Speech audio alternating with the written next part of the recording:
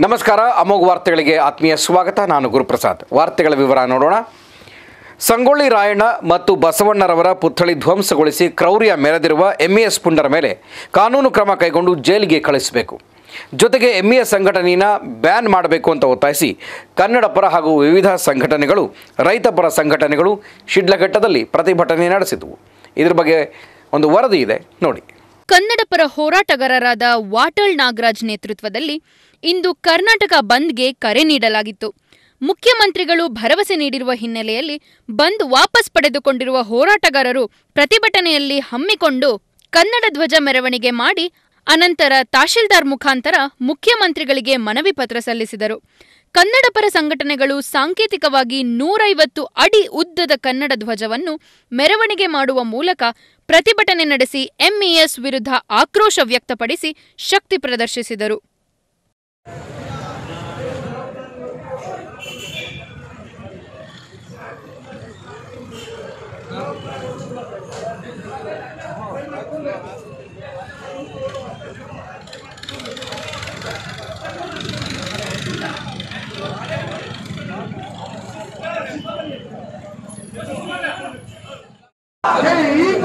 ಜೈ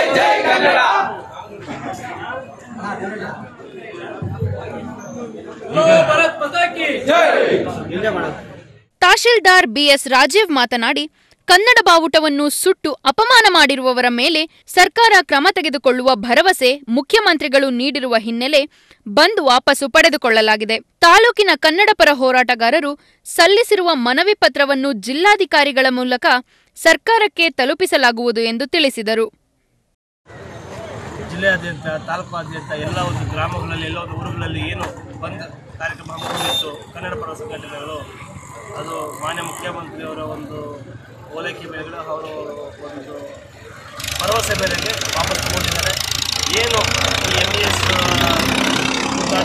ಏನು ನಮ್ಮ ಧ್ವಜವನ್ನು ಸುತ್ತಿ, ಏನು ನಮ್ಮ ಒಂದು ರಾಜ್ಯದ ಒಂದು ಜನರಿಗೆ ಒಂದು ಅಗೌರವ ತೋರಿದ್ದಾರೋ ಅದ್ರ ಬಗ್ಗೆ ಸರ್ಕಾರವು ಸೂಕ್ತವಾಗಿ ಕ್ರಮ ಕೈಗೊಳ್ಳುತ್ತೆ ಅನ್ನೋ ಒಂದು ಭರವಸೆ ನಮ್ಮೆಲ್ಲರಿಗೂ ಇದೆ.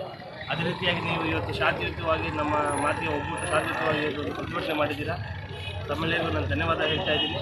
ಅದೇ ರೀತಿ ತಮ್ಮ ಒಂದು ಏನಿದೆ, ತಮ್ಮ ಮನಪತ್ರ ಪತ್ರ ಏನಿದೆ, ಮಾನ್ಯ ಜಿಲ್ಲಾಧಿಕಾರಿಗಳ ಮೂಲಕ ಸರ್ಕಾರಕ್ಕೆ ಒಂದು ಸಲ್ಲಿಸುವ ವ್ಯವಸ್ಥೆ ಹಾಗೂ ನಮ್ಮ ಕನ್ನಡ ಒಂದು ಭಾಷೆಗೆ, ಕನ್ನಡ ಒಂದು ರಾಷ್ಟ್ರಕ್ಕೆ ಅಗೌರವ ತೋರುವ ಮೇಲ್ಗಡೆ ವೈಯಕ್ತಿಕವಾಗಿ ಹಾಗೂ ಒಂದು ಸರ್ಕಾರದ ಹಂತದಲ್ಲಿ ಒಂದು ಅವರು ಕ್ರಮ ಕೈಗೊಳ್ಳೋಕ್ಕೆ ನಾವು ಶಿಫಾರಸು ಮಾಡ್ತೀವಿ. ಧನ್ಯವಾದ.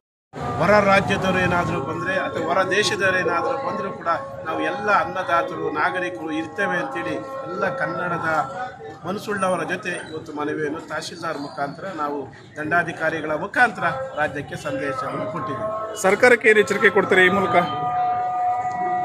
ಏನು ಇವತ್ತು ಹದಿನಾರು ದಿನಗಳಾಗಿದೆ. ಇವತ್ತು ಸರ್ಕಾರ ಜವಾಬ್ದಾರಿ ಹೊತ್ತಂತ ಮುಖ್ಯಮಂತ್ರಿಗಳ ಹೇಳಿಕೆ ನಿನ್ನೆ ಏನು ಹೇಳಿದರು? ಇಂಥ ಪುಂಡರನ್ನು ಇಂಥ ಕಿಡಿಗೇಡಿಗಳನ್ನು ತಕ್ಷಣವೇ ಸಂಬಂಧಪಟ್ಟಂಥ ಕಾನೂನಿನ ಅಡಿಯಲ್ಲಿ ಬಂಧಿಸಿ ಶಿಕ್ಷೆ ಮಾಡಬೇಕು. ಇದು ರಾಜ್ಯ ವ್ಯಾಪ್ತಿ ಆಗೋದು ಬೇಡ, ರಾಷ್ಟ್ರ ವ್ಯಾಪ್ತಿ ಆಗೋದು ಬೇಡ. ಈಗಾಗಲೇ ಅನೇಕ ಕನ್ನಡದ ಮನಸ್ಸುಳ್ಳಂಥವರು ನಮ್ಮ ಆ ರಾಜ್ಯದಲ್ಲಿ ವಧೆ ತಿಂದು ಬಂದಂಥವರು, ನಮ್ಮ ಹೆಚ್ಚಿನ ರೀತಿಯಲ್ಲಿ ಗಾಡಿಯ ಡ್ರೈವರ್ಗಳು ಭಾಳಷ್ಟು ನೋವು ಅನುಭವಿಸಿದಂಥವರು ಇದಕ್ಕೆ ಕಾರಣ ನಮ್ಮ ಸರ್ಕಾರ. ಆವತ್ತೇ ಸರಿಯಾದಂಥ ನಿರ್ಧಾರವನ್ನು ಮಾಡಿದರೆ ಈ ರೀತಿ ಆಗ್ತಾ ಇಲ್ಲ. ಅದಕ್ಕೆ ಸರ್ಕಾರಕ್ಕೆ ಎಚ್ಚರಿಕೆಯನ್ನು ಕೊಡ್ತೇವೆ. ರಾಜ್ಯದ ಜಲ, ನೆಲ ವಿಚಾರದಲ್ಲಿ ಯಾರೇ ಆದರೂ ಕೂಡ ಅವರ ಮೇಲೆ ಕಠಿಣವಾದಂಥ ನಿರ್ಧಾರವನ್ನು ಸರ್ಕಾರ ಮಾಡಬೇಕು ಅಂತೇಳಿ ಎಚ್ಚರಿಕೆಯನ್ನು ಕೊಡ್ತೇವೆ. ಇನ್ನು ಈ ಪ್ರತಿಭಟನೆಯಲ್ಲಿ ರೈತ ಸಂಘದ ರಾಜ್ಯ ಪ್ರಧಾನ ಕಾರ್ಯದರ್ಶಿ ಭಕ್ತರಹಳ್ಳಿ ಭೈರೇಗೌಡ, ಕಸ್ತೂರಿ ಕರ್ನಾಟಕ ಜನಪರ ವೇದಿಕೆಯ ತಾಲೂಕು ಅಧ್ಯಕ್ಷ ರಾಮಾಂಜನೇಯ, ಶೆಟ್ಟಿಹಳ್ಳಿ ರವಿಪ್ರಕಾಶ್, ರೈತ ಮುಖಂಡ ನಾರಾಯಣಸ್ವಾಮಿ ವೀರಪುರ ಮುನ್ನಿನಂಜಪ್ಪ ಮತ್ತಿತರು ಭಾಗವಹಿಸಿದ್ದರು. ಕೋಟಹಳ್ಳಿ ಅನಿಲ್ ಕುಮಾರ್ ಅಮೋಕ್ ಟಿವಿ, ಶಿಡ್ಲಘಟ್ಟ. ಸಮಾಜದಲ್ಲಿ ಕಟ್ಟಕಡೆಯ ವ್ಯಕ್ತಿಗೂ ಸ್ವಾತಂತ್ರ್ಯ ಹಾಗೂ ಸ್ಥಾನಮಾನ ಸಿಗಬೇಕಾದ್ರೆ ಅದು ಕಾಂಗ್ರೆಸ್ ಪಕ್ಷದಿಂದ ಮಾತ್ರ ಸಾಧ್ಯ. ಯಾಕೆಂದರೆ ಸ್ವಾತಂತ್ರ್ಯ ಪೂರ್ವದಲ್ಲಿ ಸ್ವಾತಂತ್ರ್ಯಕ್ಕಾಗಿ ಹೋರಾಡಿದ ತ್ಯಾಗ ಬಲಿದಾನ ನೀಡಿದ ದೇಶದ ಹಾಗೂ ರಾಜ್ಯದ ಹಿತ ಕಾಪಾಡಲು ಬದ್ಧವಾಗಿರುವ ಯಾವುದಾದರೂ ಒಂದು ಪಕ್ಷ ಇದೆ ಅಂದರೆ ಅದು ಕಾಂಗ್ರೆಸ್ ಪಕ್ಷ ಮಾತ್ರ ಅಂತ ಕೆಪಿಸಿಸಿ ಮೀನುಗಾರಿಕೆ ವಿಭಾಗದ ರಾಜ್ಯಾಧ್ಯಕ್ಷ ಮಂಜುನಾಥ ಬಿ ಸುಡಗಾರ ಅಭಿಮತ ವ್ಯಕ್ತಪಡಿಸಿದರು. ನಗರದ ಕಾಂಗ್ರೆಸ್ ಕಚೇರಿಯಲ್ಲಿ ಹಮ್ಮಿಕೊಂಡಿದ್ದ ಸರಳ ಕಾರ್ಯಕ್ರಮದಲ್ಲಿ ಕೋಲಾರ ಜಿಲ್ಲಾಧ್ಯಕ್ಷರನ್ನಾಗಿ ಕೆಎಂ ಶಿವಕುಮಾರ್ ರವರ ಹೆಸರು ಘೋಷಣೆ ಮಾಡಿ ಮಾತನಾಡಿ, ಇಡೀ ದೇಶದಲ್ಲಿ ಬಡವರ ದೀನದಲಿತರ, ಸಮಾಜದ ಕೆಳವರ್ಗದವರನ್ನ ಗುರುತಿಸಿ ಅವರಿಗೆ ಸೂಕ್ತ ಸ್ಥಾನಮಾನ ಕೊಡುವುದರಲ್ಲಿ ಕಾಂಗ್ರೆಸ್ ಪಕ್ಷಕ್ಕೆ ಬದ್ಧತೆ ಇದೆ. ಈ ನಿಟ್ಟಿನಲ್ಲಿ ಬೆಸ್ತೆ ಜನಾಂಗಕ್ಕೆ ಪ್ರತ್ಯೇಕ ವಿಭಾಗ ಸೃಷ್ಟಿ ಮಾಡಿ ಜನಾಂಗದವರಿಗೆ ಸಿಗಬೇಕಾದ ಮೂಲಭೂತ ಸೌಕರ್ಯಗಳನ್ನು ಒದಗಿಸುವುದೇ ಪಕ್ಷದ ಅಜೆಂಡಾ ಆಗಿದ್ದು, ಈ ನಿಟ್ಟಿನಲ್ಲಿ ತಮ್ಮನ್ನು ಈ ವಿಭಾಗದಲ್ಲಿ ರಾಜ್ಯಾಧ್ಯಕ್ಷರನ್ನಾಗಿ ಮಾಡಿದ್ದು ಎಂದರು. ಕಾಂಗ್ರೆಸ್ ಪಕ್ಷದ ವತಿಯಿಂದ ಮೀನುಗಾರರ ಸಮಿತಿಯ ವತಿಯಿಂದ ನಾನು ಕೋಲಾರ ಜಿಲ್ಲೆಯ ಪ್ರವಾಸದಲ್ಲಿದ್ದೀನಿ. ಕೋಲಾರ, ಚಿಕ್ಕಬಳ್ಳಾಪುರ ಹಾಗೂ ಬೆಂಗಳೂರು ಗ್ರಾಮಾಂತರ ಜಿಲ್ಲೆಗಳ ಪ್ರವಾಸದಲ್ಲಿ ಬಂದಾಗ ಕೋಲಾರ ಜಿಲ್ಲೆ ಭೇಟಿ ಕೊಟ್ಟು ಕೋಲಾರ ಜಿಲ್ಲೆಯ ಕಾಂಗ್ರೆಸ್ ಸಮಿತಿಗೆ ನಾನು ಇವತ್ತು ಬಂದು ಸಭೆ ನಡೆಸಿ, ಇವತ್ತು ಕೋಲಾರ ಜಿಲ್ಲೆಯಲ್ಲಿ ಕೆ ಎಚ್ ಮುನಿಯಪ್ಪ ಸಾಹೇಬರು ಶಿವಕುಮಾರ್ ಅವರನ್ನು ಕೋಲಾರ ಜಿಲ್ಲಾ ಮೀನುಗಾರ ಕಾಂಗ್ರೆಸ್ ಸಮಿತಿಯ ಜಿಲ್ಲಾಧ್ಯಕ್ಷರನ್ನಾಗಿ ನೇಮಕ ಮಾಡೋದಕ್ಕೆ ಶಿಫಾರಸನ್ನು ಕೊಟ್ಟಿದ್ದಾರೆ. ಅವರನ್ನು ನಾನು ಮೀನುಗಾರ ಕಾಂಗ್ರೆಸ್ ಸಮಿತಿಯ ಜಿಲ್ಲಾಧ್ಯಕ್ಷರನ್ನಾಗಿ ನೇಮಕ ಮಾಡ್ತಾ ಇದ್ದೀನಿ. ಅವರಿಗೆ ಅಭಿನಂದನೆಗಳು. ಅದೇ ರೀತಿ ಇವತ್ತು ಕೋಲಾರ ಜಿಲ್ಲೆಯಲ್ಲಿ ಮೀನುಗಾರರ ಸಮುದಾಯ ಕಡಿಮೆ ಇದ್ರೂ ಸಹ ವೃತ್ತಿಪರ ಮೀನುಗಾರರು ಮತ್ತು ಮೀನುಗಾರರ ಸಮುದಾಯವನ್ನು ಜೊತೆ ಕರ್ಕೊಂಡು ಹೋಗುವಂಥ ಕೆಲಸವನ್ನು ಪಕ್ಷದ ಎಲ್ಲ ಹಿರಿಯ ಮುಖಂಡರುಗಳು ನಾವು ಮಾಡ್ತೀವಿ ಅಂತ ಭರವಸೆಯನ್ನು ಕೊಟ್ಟಿದ್ದು.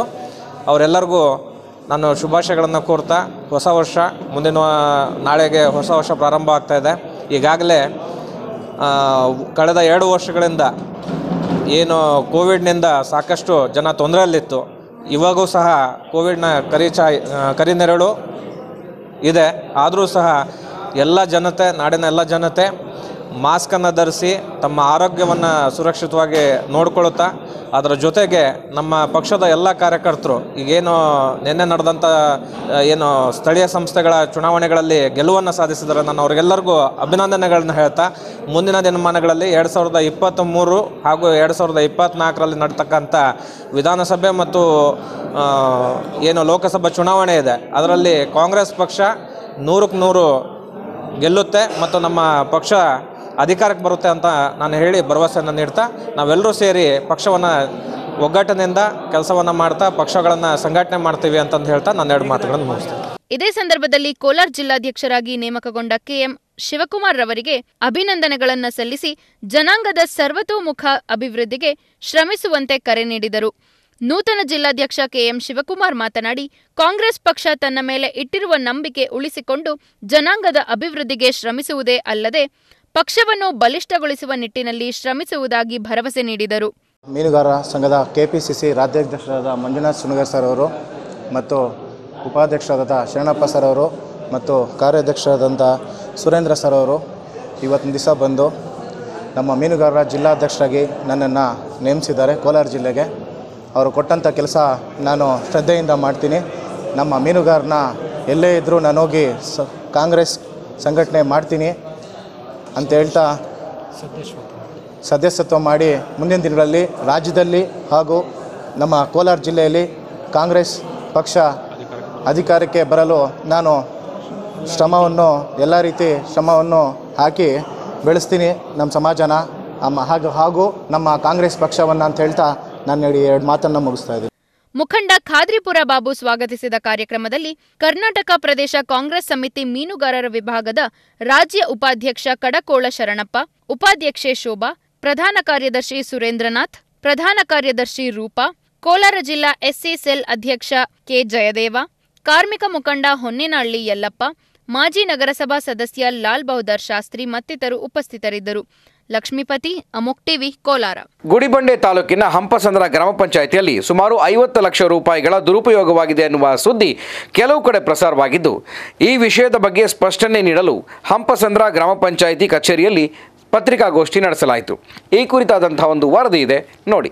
ಪಂಚಾಯಿತಿ ಅಧ್ಯಕ್ಷ ಲಕ್ಷ್ಮೀನಾರಾಯಣ್ ಪಂಚಾಯಿತಿ ಅಭಿವೃದ್ಧಿ ಅಧಿಕಾರಿ ಪಣೀಂದ್ರ ಹಾಗೂ ಗ್ರಾಮ ಪಂಚಾಯಿತಿ ಸದಸ್ಯರು ಈ ಪತ್ರಿಕಾಗೋಷ್ಠಿ ಏರ್ಪಡಿಸಿದ್ದರು.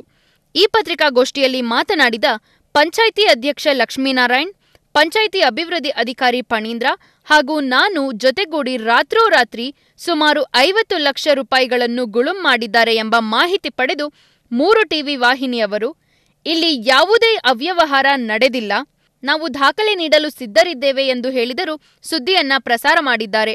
ಕೇವಲ ಬ್ಯಾಂಕ್ನ ಪಾಸ್ ಶೀಟ್ ಆಧಾರದ ಮೇಲೆ ಅವ್ಯವಹಾರ ನಡೆದಿದೆ ಎಂದು ಮಾಧ್ಯಮದವರು ತೀರ್ಮಾನಿಸುವುದು ಯಾವ ನ್ಯಾಯ ಎಂದರು. ಹಂಸಂದ್ರ ಗ್ರಾಮ ಪಂಚಾಯಿತಿಯಲ್ಲಿ ಅಧ್ಯಕ್ಷರು ಹಾಗೂ ಪಿ ಡಿ ಅವರು ಸೇರಿಬಿಟ್ಟು ರಾತ್ರೋರಾತ್ರಿ ಐವತ್ತು ಲಕ್ಷ ರೂಪಾಯಿಗಿನ್ನ ಅಧಿಕ ಹಣನ ಎಲ್ಲ ಡ್ರಾ ಮಾಡಿಬಿಟ್ಟು ತಿಂದುಬಿಟ್ಟಿದ್ದಾರೆ ಅಂತೇಳಿ ಕೆಲವು ಮಾಧ್ಯಮಗಳಲ್ಲಿ ಏನು ಪ್ರಸಾರ ಮಾಡಿದ್ದಾರೆ.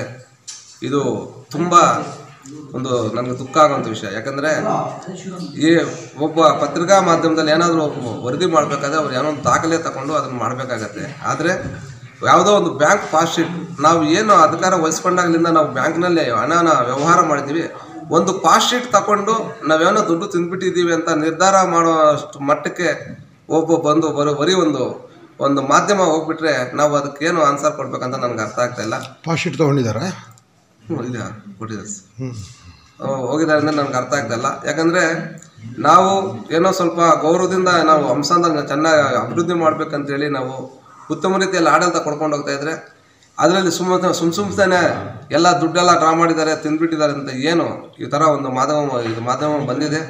ಇದು ನೂರಕ್ಕೆ ನೂರರಷ್ಟು ನಾನು ಇದನ್ನು ವಿರೋಧ ಮಾಡ್ತೀನಿ. ಯಾಕಂದರೆ ಏನು ಅವರು ಕೋಟಿ ಐವತ್ತು ಲಕ್ಷ ನಾವು ಇದಿದೆ ಫಿಫ್ಟೀನ್ ಫೈನಾನ್ಸಲ್ಲಿ ಅದರಲ್ಲಿ ಸುಮಾರು ಮೂವತ್ತ್ನಾಲ್ಕು ಲಕ್ಷ ರೂಪಾಯಿ ನಾವು ವಿವಿಧ ಕಾಮಗಾರಿಗಳಿಗೋಸ್ಕರ ತೆಗೆದುಬಿಟ್ಟು ಅನುಮೋದನೆ ತಗೊಂಡು ಆಕ್ಷನ್ ಪ್ಲಾನ್ ಮಾಡಿಬಿಟ್ಟು ಬಿಲ್ ಮಾಡಿಸ್ಬಿಟ್ಟು ಕೊಟ್ಟಿದ್ದೀವಿ. ಒಂದು ತ್ಯಾಜ್ಯ ವಿಲೇವಾರಿ ಗಾಡಿ ತಂದಿದ್ದೀವಿ ಸೋಲಾರ್ ಘಟ್ಟ, ಮತ್ತು ನಾವು ನೌಕರ ಸಂಬಳ ಈ ಥರ ಏನು ಒಟ್ಟಾಗಿ ನಮ್ಗೆ ಏನು ಆಫೀಸ್ ಇದೆ ಎಲ್ಲದಕ್ಕೂ ಖರ್ಚು ಮಾಡಿರೋ ದುಡ್ಡನ್ನ ನಾವು ಎಲ್ಲನೂ ಬಳಸ್ಕೊಂಡ್ಬಿಟ್ಟು ನಾವು ಅವ್ಯವಹಾರ ಮಾಡಿದ್ದೀವಿ ಅಂದರೆ, ಇನ್ನು ನಾವು ದುಡ್ಡು ಡ್ರಾ ಮಾಡ್ದಿರ ಏನಾದರೂ ಎಲ್ಲ ಕಾಮಗಾರಿಗಳಿಗೆ ಏನಾದರೂ ಮಾಯ ಮಾತ್ರ ಮಾಡಬೇಕಾಗಿತ್ತು ನಮ್ಗೆ ಗೊತ್ತಾಗಲ್ಲ. ನಮ್ಗೆ ಬಂದಿರೋ ದುಡ್ಡನ್ನೇ ಅಲ್ಲ ನಾವು ನಾವು ದುಡ್ಡು ಡ್ರಾ ಮಾಡಿಬಿಟ್ಟೆ ನಾವು ವ್ಯವಹಾರ ಮಾಡಬೇಕಲ್ಲ. ನಾವು ಅದು ಡ್ರಾ ಮಾಡೋದೆಲ್ಲ ಅವ್ಯವಹಾರ ಅಂತ ಕನ್ಸಿಡರ್ ಮಾಡೋದನ್ನು ನಾನು ತುಂಬ ವಿರೋಧ ಮಾಡ್ತೀನಿ. ಖರ್ಚು ಮಾಡಬಾರ್ದು ಅಷ್ಟೇ ಅಮೌಂಟ್ ಏನಿದೆಯೋ ಅದು ಬ್ಯಾಂಕಲ್ಲಿ ಹಂಗೆ ಇಟ್ಟು ಶೇಖರಣೆ ಮಾಡಿ ಇಟ್ಕೋಬೇಕು. ಆಯ್ತಾ? ಇನ್ನು ಇನ್ನೊಂದು ಏನಂದ್ರೆ ನಾವು ಇದನ್ನ ನಾನು ನಾವು ಒಂದು ಒಂದೇ ಒಂದು ವಿಷಯ ಒಪ್ಕೊಂಡ್ರೆ ನನಗೆ ಏನು ಒಂದು ನಮ್ಮ ಪಿ ಡಿ ಅವರು ಆನ್ಲೈನ್ ಮುಖಾಂತರ ಪೇಮೆಂಟ್ ಮಾಡಬೇಕಾಗುತ್ತೆ ಅದನ್ನು ಚೆಕ್ ಮುಖಾಂತರ ಮಾಡಿದ್ದಾರೆ ಅನ್ನೋ ಒಂದು ಆರೋಪ ಇದೆ. ನಾನು ಅದನ್ನು ಒಪ್ಕೊತೀನಿ. ಯಾಕಂದರೆ ನಾನು ಅಧ್ಯಕ್ಷನಾಗಿ ನಾವು ಇರೋದನ್ನು ಒಪ್ಕೊಳ್ಬೇಕಾಗತ್ತೆ. ಅವರು ಆನ್ಲೈನಲ್ಲಿ ಮಾಡಬೇಕಾಗಿತ್ತು. ಆ ಆ ವೇಳೆಯಲ್ಲಿ ಏನು ನಮಗೆ ನಮ್ಮ ಒಬ್ಬ ಕಂಪ್ಯೂಟರ್ ಆಪರೇಟರ್ ಕೊರೋನಾ ಬಂದ್ಬಿಟ್ಟು ಹಾಸ್ಪಿಟಲ್ ಇದ್ದು ತೀರೋ ಪಂಚಾಯಿತಿ ಅಭಿವೃದ್ಧಿ ಅಧಿಕಾರಿ ಪಣೀಂದ್ರ ಮಾತನಾಡಿ ಮಾಧ್ಯಮದಲ್ಲಿ ಬಂದಿರುವಂತಹ ಯಾವುದೇ ಹಣದ ಅವ್ಯವಹಾರ ನಡೆದಿಲ್ಲ. ಕ್ರಿಯಾಶೀಲ ಪಟ್ಟಿ ತಯಾರಿಸಿ ಪಂಚಾಯಿತಿ ಸದಸ್ಯರ ಮುಂದೆ ಮಂಡಿಸಿ ಒಪ್ಪಿಗೆ ಪಡೆದು ಪ್ರತಿಯೊಂದು ಕಾಮಗಾರಿ ನಡೆದ ನಂತರವೇ ಬಿಲ್ ಪಾವತಿಸಲಾಗಿದೆ. ಅದಕ್ಕೆ ಸಂಬಂಧಿಸಿದ ಸೂಕ್ತ ದಾಖಲೆಗಳು ನಮ್ಮ ಬಳಿ ಇದೆ. ಕೆಲವರು ದುರುದ್ದೇಶದಿಂದ ನಮ್ಮ ಮೇಲೆ ಅಪಪ್ರಚಾರ ನಡೆಸಿದ್ದಾರೆ ಎಂದರು. ನಿನ್ನೆ ಇವತ್ತು ಹಂಸಂದ್ರ ಗ್ರಾಮ ಪಂಚಾಯಿತಿಯಲ್ಲಿ ಅರ್ಧ ಕೋಟಿ ರೂಪಾಯಿಯನ್ನು ಗುಳ್ಳು ಮಾಡಿದ್ದಾರೆ ವೆಚ್ಚ ಮಾಡಿಬಿಟ್ಟಿದ್ದಾರೆ ಅಂತ ಅಂದ್ಬಿಟ್ಟು ಆಪಾದನೆ ಮಾಡ್ತಾ ಇದ್ದಾರೆ. ಇದನ್ನು ನಾನು ಕಡಾಖಂಡಿತವಾಗಿ ಖಂಡಿಸ್ತಾ ಇದ್ದೀನಿ ಸರ್. ಇದರಲ್ಲಿ ಯಾವುದೇ ಆಗಿರ್ತಕ್ಕಂಥ ಮೋಸ ಆಗಲಿ, ಫ್ಯಾಡ್ ಆಗಲಿ ಅಥವಾ ಗುಳ್ಳು ಮಾಡಿರ್ತಕ್ಕಂಥ ವಿಚಾರ ಏನೂ ಇಲ್ಲ. ಏನು ನಮ್ಮ ಗ್ರಾಮ ಪಂಚಾಯಿತಿ ಇಪ್ಪತ್ತೊಂದು ಜನ ಸದಸ್ಯರು ಕೂತ್ಕೊಂಡು ಸಭೆಯಲ್ಲಿ ತೀರ್ಮಾನ ಮಾಡಿ ಪ್ಲ್ಯಾನ್ ಮಾಡಿಕೊಟ್ಟಿದ್ದಾರೆ, ಕ್ರಿಯಾಶೀಲ ಪಟ್ಟಿ ಮಾಡಿಕೊಟ್ಟಿದ್ದಾರೆ. ಆ ಪ್ರಕಾರ ನಾವು ಪಟ್ಟಿಯನ್ನು ಮಾಡಿ ಅನುಮೋದನೆ ತಗೊಂಡು ಈಗ ಅದಕ್ಕೆ ಸಂಬಂಧಪಟ್ಟಿರೋ ಇಂಜಿನಿಯರ್ ಕಡೆಯಿಂದ ಎಸ್ಟಿಮೇಟ್ ಮಾಡಿಸ್ಕೊಂಡು ಬಿಲ್ ಮಾಡಿಸ್ಕೊಂಡಿದ್ದೀವಿ ಕಾಮಗಾರಿ ಆಗಿದೆ. ಅದೇ ಸದಸ್ಯರುಗಳೆಲ್ಲ ಕಾಮಗಾರಿಯನ್ನು ಸಹ ಮಾಡಿದ್ದಾರೆ. ಆ ಪ್ರಕಾರನೇ ನಾವು ಅಮೌಂಟನ್ನು ಸಂಬಂಧಪಟ್ಟಿರೋ ಕಾಂಟ್ರಾಕ್ಟ್ಗೆ ಚೆಕ್ ಮುಖಾಂತರ ಪಾವತಿ ಮಾಡಿದ್ದೇವೆ. ಇನ್ನು ಉಳಿಕೆ ಇರ್ತಕ್ಕಂಥ ಕಾಮಗಾರಿಗಳು ಸಹ ಚೆಕ್ ಮುಖಾಂತರ ನಾವು ಹಣವನ್ನು ಕೊಟ್ಟಿದ್ದೀವಿ. ಅದಕ್ಕೆ ಸಂಬಂಧಪಟ್ಟಿರ್ತಕ್ಕಂಥ ಎಲ್ಲ ಬಿಲ್ಸ್ ನಮ್ಮಲ್ಲಿದೆ. ಪಂಚಾಯಿತಿಯಲ್ಲಿ ಅಪ್ರೂವಲ್ ಸಹ ಆಗಿದೆ. ಇದು ದುರುದ್ದೇಶವಾಗಿ, ಇದು ಉದ್ದೇಶ ಬೇರೆ, ಯಾರು ಏನು ಉದ್ದೇಶ ಇದೆಯೋ ಗೊತ್ತಿಲ್ಲ. ದುರುದ್ದೇಶವಾಗಿ ನಮ್ಮ ಮೇಲೆ ಈ ಒಂದು ಆಪಾದನೆ ಮಾಡಿದ್ದಾರೆ. ನಾನು ಇದನ್ನು ಖಂಡಿಸ್ತಾ ಇದ್ದೀನಿ. ನಮಗೆ ಇದಕ್ಕೆ ಸಂಬಂಧಪಟ್ಟಿರತಕ್ಕಂಥ ಎಲ್ಲ ವೋಚರ್ಗಳು ನಮ್ಮ ಬಳಿ ಇದೆ ಸರ್. ರಾಜಶೇಖರ್ ಅಮೋಕ್ ಟಿವಿ ಗುಡಿಬಂಡೆ. ಪಾವಗಡ ತಾಲೂಕಿನ ನಾಗಲಮಡಿಕೆ ಶ್ರೀ ಸುಬ್ರಹ್ಮಣ್ಯೇಶ್ವರ ಸ್ವಾಮಿ ಜಾತ್ರಾ ಮಹೋತ್ಸವಕ್ಕೆ ಕೋವಿಡ್ ಕರಾಳ ಛಾಯೆ ಈ ವರ್ಷವೂ ಬಡಿದ ಹಿನ್ನೆಲೆಯಲ್ಲಿ ಜಾತ್ರೆಯನ್ನ ತಾಲೂಕು ಆಡಳಿತ ರದ್ದುಪಡಿಸಿದೆ ಅಂತ ತಹಶೀಲ್ದಾರ್ ನಾಗರಾಜು ತಿಳಿಸಿದ್ದಾರೆ. ತಾಲೂಕು ಕಚೇರಿಯಲ್ಲಿ ನಡೆದ ಪತ್ರಿಕಾಗೋಷ್ಠಿಯಲ್ಲಿ ಮಾತನಾಡಿ, ಜನವರಿ ಎಂಟರಂದು ಮುಷ್ಕಶುದ್ಧ ಷಷ್ಠಿ ಸುಬ್ಬರಾಯನಪಿ ಎಂದು ಜನಪ್ರಿಯವಾಗಿರುವ ನಾಗಲಮಡಿಕೆ ಸುಬ್ರಹ್ಮಣ್ಯೇಶ್ವರ ಸ್ವಾಮಿ ಬ್ರಹ್ಮ ರಥೋತ್ಸವವಾದಿಗಳು ಹತ್ತು ದಿನಗಳ ಕಾಲದ ಧಾರ್ಮಿಕ ಉತ್ಸವಗಳು ಹಾಗೂ ದನಗಳ ಜಾತ್ರೆ ನಡೆಯಬೇಕಾದ್ದನ್ನು ಕೋವಿಡ್ ಮೂರನೇ ಅಲೆಯ ನಿಯಂತ್ರಣದ ದೃಷ್ಟಿಯಿಂದ ರದ್ದು ಮಾಡಿದೆ. ಅಂಗಡಿ ಮುಂಗಟ್ಟುಗಳು ಇರುವುದಿಲ್ಲ, ಭಕ್ತಾದಿಗಳು ಹೆಚ್ಚು ಜನ ಸೇರುವಂತಿಲ್ಲ, ಬ್ಯಾರೇಜ್ ನೋಡಲು ಯಾರನ್ನೂ ಬಿಡುವಂತಿಲ್ಲ ಎಂದು ತಿಳಿಸಿದ್ದಾರೆ. ನಿಯಂತ್ರಣದ ಬಗ್ಗೆ ಹಾಗೂ ಒಮಿಕ್ರಾನ್ ವೈರಸ್ ನಿಯಂತ್ರಣದ ಬಗ್ಗೆ ಮಾರ್ಗಸೂಚಿನ ದಿನಾಂಕ ಮೂರು ಹನ್ನೆರಡು ಎರಡು ಸಾವಿರದ ಇಪ್ಪತ್ತು, ಇಪ್ಪತ್ತೊಂದರಂದು ಜಾರಿ ಮಾಡಿದ್ದು. ಆ ನಿರ್ದೇಶನದಲ್ಲಿ ನೀಡಿರುವಂಥ ಅಂಶಗಳನ್ನು ಪರಿಗಣಿಸಿಕೊಂಡು ನೀವು ಜಾತ್ರೆ ಕಾರ್ಯಕ್ರಮಕ್ಕೆ ಮಾಡಿ ಇನ್ನು ಜಾತ್ರೆ ಕಾಲದಲ್ಲಿ ನೂರಾರು ಜನ ಸೇರುವುದನ್ನು ನಿಯಂತ್ರಿಸಲು ವಿಶೇಷ ಬಸ್ ವ್ಯವಸ್ಥೆಯನ್ನು ನಿಷೇಧಿಸಿದ್ದು, ಇತರೆ ವಾಹನಗಳ ಸಂಖ್ಯೆ ಹೆಚ್ಚದಂತೆ ನಿಗವಹಿಸುವುದಾಗಿ ಎಂದಿನಂತೆ ಪೂಜೆಗಳು ನಡೆಯುತ್ತವೆ. ಪ್ರಸಾದ ವಿನಿಯೋಗವನ್ನು ನಿಷೇಧಿಸಲಾಗಿದೆ ಎಂದು ವೃತ್ತ ನಿರೀಕ್ಷಕ ಕಾಂತರೆಡ್ಡಿ ತಿಳಿಸಿದ್ದಾರೆ. ಈ ವೇಳೆ ಪತ್ರಿಕಾಗೋಷ್ಠಿಯಲ್ಲಿ ಶಿರಸ್ತೆ ದಾರಮೂರ್ತಿ, ಪುರಸಭೆ ಮುಖ್ಯಾಧಿಕಾರಿ Archana, KSRTC depot manager Hanumantharayappa engineer Anil, ತಾಲೂಕಿನ ವಿವಿಧ ಇಲಾಖೆ ಅಧಿಕಾರಿಗಳು ಭಾಗವಹಿಸಿದ್ದರು. ಸರ್ಕಾರ ಹೊರಡಿಸತಕ್ಕಂಥ ಕೋವಿಡ್ ನಿಯಮ ಮತ್ತು ಒಮಿಕ್ರಾನ್ ತಡೆಗಟ್ಟುವ ಹಿನ್ನೆಲೆಯಲ್ಲಿ ಬಹಳ ನಿರ್ಬಂಧನಗಳನ್ನು ವಿಧಿಸಿ ಜಾತ್ರೆಯನ್ನು ಸರಳ ಮತ್ತು ಸಂಪ್ರದಾಯಬದ್ಧವಾಗಿ ಪೂಜಾ ಕೈಂಕರ್ಯಗಳನ್ನು ಮಾಡಲಿಕ್ಕೆ ಮಾತ್ರ ಅವಕಾಶ ಇದೆ. ಬೇರೆ ಅಂಗಡಿ ಮುಂಗಟ್ಟುಗಳನ್ನು ಸ್ಥಾಪನೆ ಮಾಡುವುದಾಗಲಿ, ವ್ಯಾಪಾರ ವಹಿವಾಟುಗಳನ್ನು ನಡೆಸುವುದಾಗಲಿ ಅನ್ನದಾಸೋಹ ಮಾಡುವಂತಹ ಕಾರ್ಯಕ್ರಮಗಳಾಗಲಿ, ಅಥವಾ ದನಗಳ ಜಾತ್ರೆಯನ್ನು ಮೂರು ದಿವಸ ಮುಂಚೆ ಆಚರಣೆ ಮಾಡ್ತಕ್ಕಂಥ ಜಾತ್ರೆಗಳನ್ನು ರದ್ದುಪಡಿಸಲಾಗಿದೆ. ಈ ಬಗ್ಗೆ ಮಾನ್ಯ ಜಿಲ್ಲಾಧಿಕಾರಿಗಳ ನಿರ್ದೇಶನದಂತೆ, ಮುಜರಾಯಿ ಇಲಾಖೆ ಮೇಲಾಧಿಕಾರಿಗಳ ಆದೇಶದಂತೆ, ಮಾನ್ಯ ತಹಶೀಲ್ದಾರ್ ಅವರ ಒಂದು ಮಾಹಿತಿಯಂತೆ ಎಲ್ಲ ಇಲಾಖೆಯ ಮುಖ್ಯಸ್ಥರನ್ನು ಕರೆಸಿಬಿಟ್ಟು, ಒಂದು ಪಕ್ಷ ಜಾತ್ರೆ ನಡೆಯೋದಾದರೆ ಸರಳವಾಗಿ ನಡೆದರೂ ಕೂಡ ನಾವು ರಕ್ಷಣಾ ಪರಿಹಾರ ಉಪಾಯಗಳನ್ನು ನಾವು ಕೈಗೊಳ್ಳಬೇಕಾಗಿರೋದ್ರಿಂದ ನಾಗಲಮಡಿಕೆ ಅಂತ್ಯ ಸುಬ್ರಹ್ಮಣ್ಯ ಜಾತ್ರಾ ಜಾತ್ರಾ ಮಹೋತ್ಸವದ ಅಂಗವಾಗಿ ಪೂರ್ವಭಾವಿ ಸಭೆಯನ್ನು ಮಾನ್ಯ ತಹಸೀಲ್ದಾರ್ ಸಾಹೇಬರು ಪಾವಗಡ ತಾಲೂಕು ಇವರ ಕಚೇರಿಯಲ್ಲಿ ಎಲ್ಲ ಇಲಾಖೆಯ ಮುಖ್ಯಸ್ಥರು ಹಾಗೂ ಸಂಬಂಧಪಟ್ಟ ಇಲಾಖೆ ಮತ್ತು ಪತ್ರಕರ್ತರನ್ನು ಕರೆಸಿಬಿಟ್ಟು ಈ ದಿವಸ ಆ ಜಾತ್ರಾ ಆಚರಣೆಯ ಬಗ್ಗೆ ಆಮೇಲೆ ರಾಜ್ಯದಲ್ಲಿ ನಡೀತಕ್ಕಂಥ ಈ ಜಾತ್ರೆಗಳ ನಿರ್ಬಂಧಗಳನ್ನು ಇಮ್ರಾನುಲ್ಲಾ ಅಮೋಕ್ ಟಿವಿ ಪಾವಗಡ. ಚಿಕ್ಕನಾಯಕನಹಳ್ಳಿ ಪಟ್ಟಣದ ಎಪಿಎಂಸಿ ಆವರಣದಲ್ಲಿ ಸರ್ಕಾರ ಬೆಂಬಲ ಬೆಲೆಯಲ್ಲಿ ರೈತರಿಂದ ರಾಗಿ ಕೊಳ್ಳುವ ನೂತನ ನೋಂದಣಿ ಕೇಂದ್ರವನ್ನು ಸಚಿವ ಜೆಸಿ ಮಾಧುಸ್ವಾಮಿ ಉದ್ಘಾಟನೆ ಮಾಡಿದರು. ಈ ಕುರಿತಾದಂತಹ ಒಂದು ವರದಿ ಇದೆ. ನೋಡಿ. ನಿನ್ನೆ ನಡೆದ ಕಾರ್ಯಕ್ರಮದಲ್ಲಿ ಕೇಂದ್ರವನ್ನು ಉದ್ಘಾಟಿಸಿ ಮಾಧುಸ್ವಾಮಿರವರು ಮಾತನಾಡುತ್ತಾ ಈ ಸಾರಿ ರಾಗಿ ಖರೀದಿ ಕೇಂದ್ರವನ್ನು ರೈತರ ಅನುಕೂಲಕ್ಕಾಗಿ ಬೇಗ ಆರಂಭಿಸಲಾಗಿದೆ. ರೈತರು ಇಲ್ಲಿ ತಮ್ಮ ಫ್ರೂಟ್ ಗುರುತಿನ ಚೀಟಿಯೊಂದಿಗೆ ನೋಂದಣಿ ಮಾಡಿಸಿದರೆ ಇನ್ಯಾವುದೇ ದಾಖಲೆ ನೀಡುವಂತಿಲ್ಲ. ನೋಂದಣಿ ಮಾಡಿದ ರೈತರಿಗೆ ಇಂತಹ ದಿನದಂದು ರಾಗಿ ಕೊಳ್ಳುವುದಕ್ಕೆ ಮಾಹಿತಿ ನೀಡಲಾಗುವುದು. ಒಬ್ಬ ರೈತರು ಕನಿಷ್ಠ ಹತ್ತು ಕ್ವಿಂಟಾಲ್, ಗರಿಷ್ಠ ಇಪ್ಪತ್ತು ಕ್ವಿಂಟಾಲ್ ರಾಗಿ ನೀಡಬಹುದು. ರೈತರ ಖಾತೆಗೆ ಹಣ ನೇರವಾಗಿ ವರ್ಗಾವಣೆ ಆಗಲಿದೆ. ಕಳೆದ ವರ್ಷದಂತೆ ಯಾರೂ ಖರೀದಿ ಕೇಂದ್ರದ ಮುಂದೆ ದಿನಗಟ್ಟಲೆ ಕಾಯುವಂತಿಲ್ಲ ಎಂದರು. ಕಾರ್ಯಕರ್ತರು ಮತ್ತು ಜನಪ್ರತಿನಿಧಿಗಳೇನಿದ್ದೀರಾ? ಸ್ವಲ್ಪ ಇದಕ್ಕೆ ವ್ಯಾಪಕವಾಗಿ ಪ್ರಚಾರ ಕೊಡಬೇಕು. ತಿಳಿದಿರೋರಿಗೆಲ್ಲ ಗೊತ್ತಿರಲ್ಲ, ನಾವು ಕೊಳ್ಳೋಕೆ ಶುರು ಮಾಡೋದು. ಕೊಳ್ಳೋಕೆ ಮೊದಲೇ ಅವ್ರು ರಿಜಿಸ್ಟ್ರಿ ಮಾಡಿಸ್ಬೇಕು.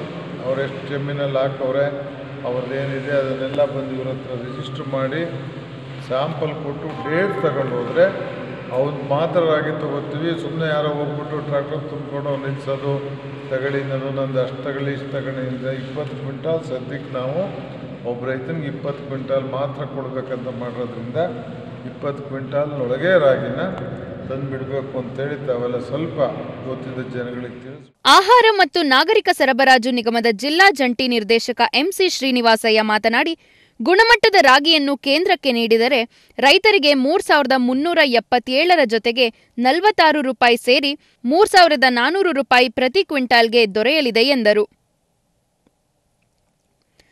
ಕಾರ್ಯಕ್ರಮದಲ್ಲಿ ತಹಶೀಲ್ದಾರ್ ಬಿ ತೇಜಸ್ವಿನಿ ಜಿಲ್ಲಾ ವ್ಯವಸ್ಥಾಪಕ ಕರ್ನಾಟಕ ಆಹಾರ ಮತ್ತು ನಾಗರಿಕ ಸರಬರಾಜು ನಿಗಮ ಡಿಎಸ್ ಸಿದ್ದಲಿಂಗಸ್ವಾಮಿ ಸಹಾಯಕ ಕೃಷಿ ನಿರ್ದೇಶಕ ಹನುಮಂತರಾಜು ಸೇರಿದಂತೆ ಮತ್ತಿತರು ಉಪಸ್ಥಿತರಿದ್ದರು.